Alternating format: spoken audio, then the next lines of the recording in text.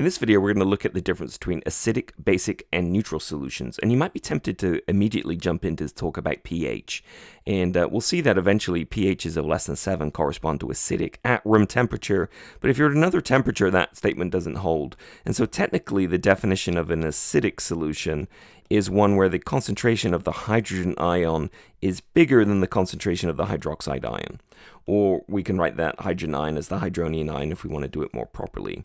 And if we've got a basic solution, it is the inverse. So the concentration of the hydrogen ion is less than the concentration of the hydroxide ion.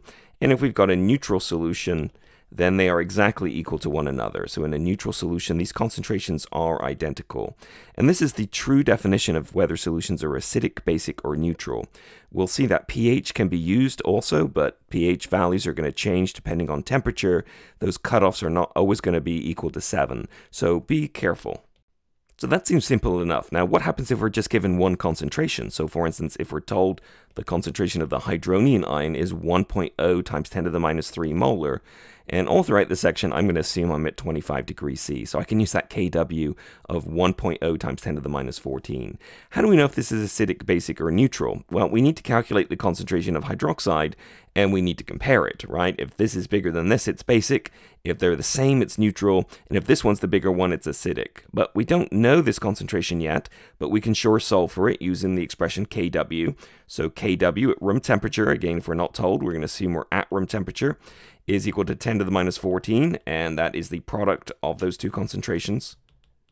So if we want to find the concentration of OH minus, we just rearrange, so it is Kw over the concentration of H plus, and at this point here we can plug in the value, so 1 times 10 to the minus 14 over, what are we given, 1 times 10 to the minus 3. Remember, in equilibrium constants, we drop the units. Now, you can reach for a calculator, or you can just subtract those powers, minus 14 on the top, minus 3 on the bottom. If you take minus 14 minus minus 3, that is minus 11. So 1.0 times 10 to the minus 11. And again, we got to put the units in on the end, so that is 1.0 times 10 to the minus 11 moles per liter. And we can see now that this is a smaller concentration, so this is smaller than the concentration of H+. plus. So we must have, what do we have?